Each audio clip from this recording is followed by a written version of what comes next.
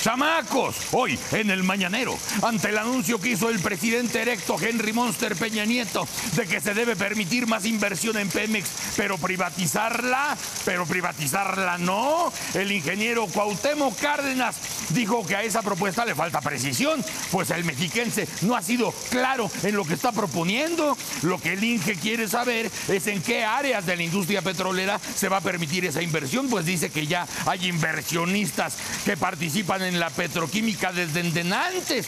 Ojalá y que aquellos que creen que rompen tabúes en esta materia escuchen detenidamente al ingeniero para darse cuenta que en materia petrolera ya hay inversión extranjera desde hace un friego. ¡Órale!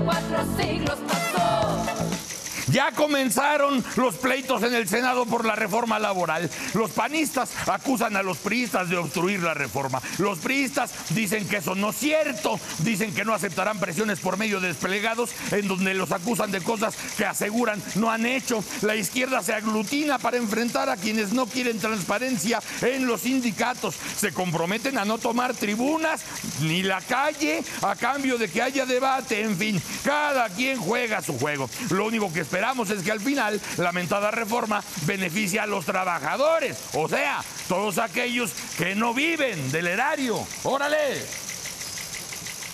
Esto es una fiesta de locos. Esto es una fiesta de locos.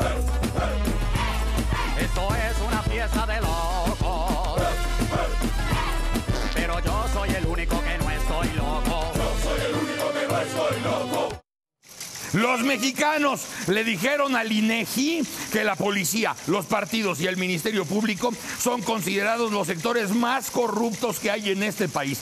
La encuesta nacional de calidad e impacto gubernamental 2011 arroja que la mala reputación de políticos y policías se debe a que los ciudadanos que tienen que realizar un trámite o solicitar un servicio se enfrentan al pago de sobornos por faltas administrativas, infracciones. También sucede en aduanas, hospitales públicos, hasta en universidades y en escuelas. ¡Órale! No te creo.